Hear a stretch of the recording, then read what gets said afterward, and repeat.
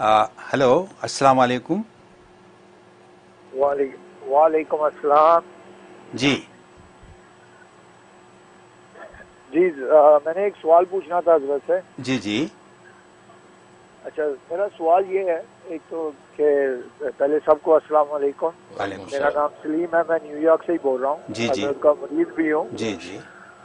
तो मेरा सवाल आज का ये है बच्चों के मामले में कि जैसे हम पेरेंट्स जो हैं हम बच्चों से एक्सपेक्टेशन बहुत ज़्यादा करते हैं। जैसे चौदह पंद्रह साल का जो बच्चा है हम चाहते हैं कि फजर की नमाज़ मस्जिद में पढ़े कम अज़ कम ईशा की नमाज़ मस्जिद में पढ़े आगे वो मसरूफ़ होते हैं तो हम कभी कभी सख्ती भी करते हैं। जैसे हम पाकिस्तान में बड़े हुए तो हमारे ऊपर भी सख्ती होती थी नमाज़ ना पढ़ने की कुरान ना पढ़ने की। तो इससे जो है बच्चे थोड़ा सा मुतनफ़र रहते हैं इस सोसाइटी में इस माशरे में ओपन सोसाइटी है और स्कूलों में भी यही सिखाया जाता है कि you are on your own तो इससे ये मैं हज़रत से ये पूछना चाह रहा हूँ कि हज़रत इसमें आप हमें मशवरा दें कि हम बच्चों की कैसे तरबियत कर सकें कि ये एक ओपन सोसाइटी है और बच्चों को कैसे जो है फ्रेंडली तौर पे लेके चला जा सके कि वो दीन पे भी चलें और दुनिया पे भी चल सकें। बहुत शुक्रिया जी। बहुत शुक्रिया आप पूछते हैं मुफ्ती साहब से। जी आप जी। फरमाएँ। बकिया वीडियो देखने से पहले वीडियो को लाइक करें राहम टीवी चैनल को सब्सक्राइब करें और बेल आइकन पर क्लिक करें। शुक्रिया। जी माशाल्लाह सलीम आपने बहुत अच्छा सवाल किया। सबसे पहले आपकी मोहब्बत को शुक्रिया। प्रोग्राम को अप्रिशिएट आप करते हैं। अल्लाह आपको जजाय खैर दे। और सवाल बड़ा खूबसूरत है। और यूँ समझें कि मुआरे की दुखती रग पे आपने हाथ रखा है और हर घर की ज़रूरत है।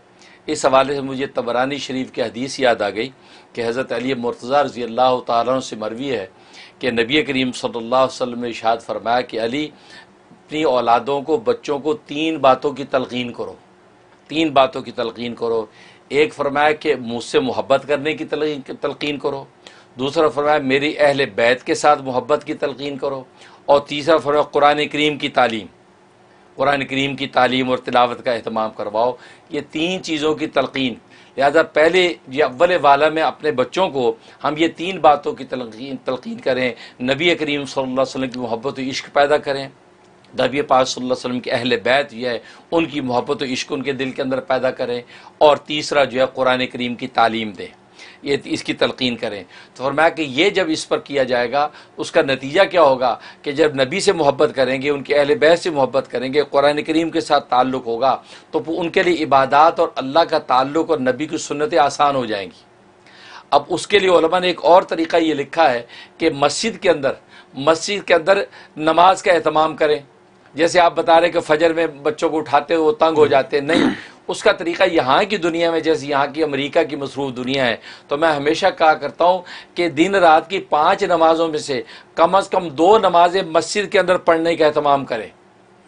मगरब ईशा का अहतमाम करें या फजर और मगरिब का अहतमाम करें, क्योंकि दिन के अंदर लोग यहाँ कामों पे होते हैं ऑफ़िस में होते हैं।